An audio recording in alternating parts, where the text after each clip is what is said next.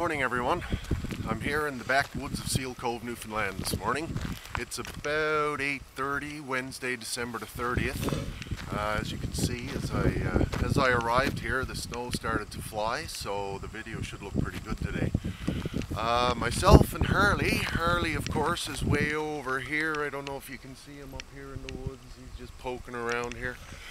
Um, I haven't done anything with it. I have the Wroncho with me again today just because I had so much fun the last time I drove it.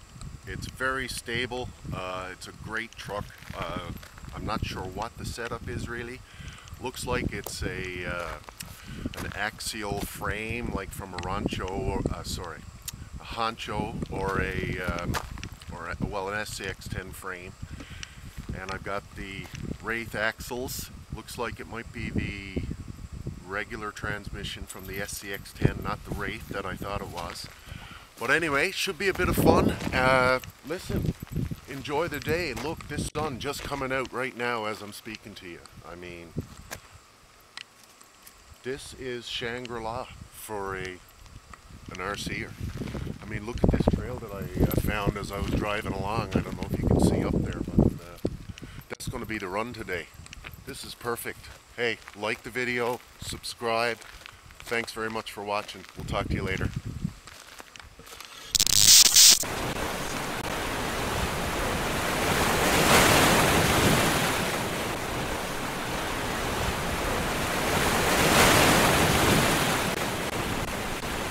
So I apologize guys for the wind by the way, but uh, just thought I would mention it's a you don't see any snow on the ground here, but it is a balmy 20 below or so with wind here this morning, so that's why I have my hat and everything on with me. Anyway, I uh, thought I'd mention that. Here we go. Enjoy.